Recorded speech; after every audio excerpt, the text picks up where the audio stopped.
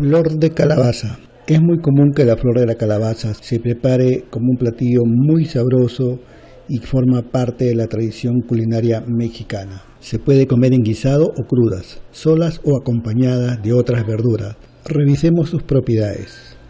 Contiene bastante vitamina A, aunque en menor proporción que la calabaza.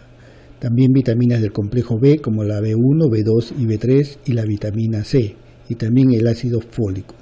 Estas dos últimas se encuentran en una proporción mucho mayor que en la calabaza misma.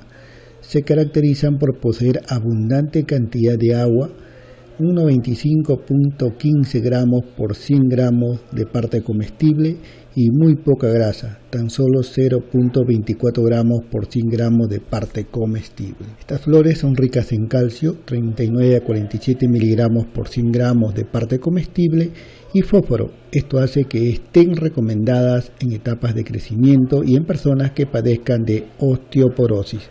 También poseen potasio, hierro y magnesio.